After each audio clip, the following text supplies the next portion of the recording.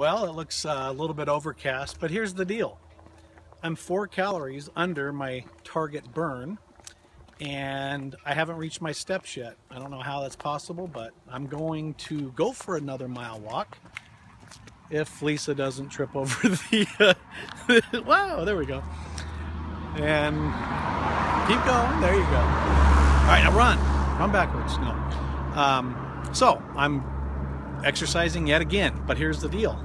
I will reach my goal. She will trip and fall, and you have to stay committed.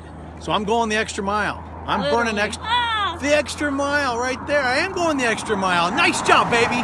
So before it starts raining, I will eclipse my calorie burn. I will eclipse my steps, and I will have another awesome snapshot, which you'll be able to see below. So if you're feeling discouraged and it takes forever, it may, but you got to start sometime. This is the end of my day three. Can't wait for tomorrow. Cardio it up. Stand fit, stay committed, and love life.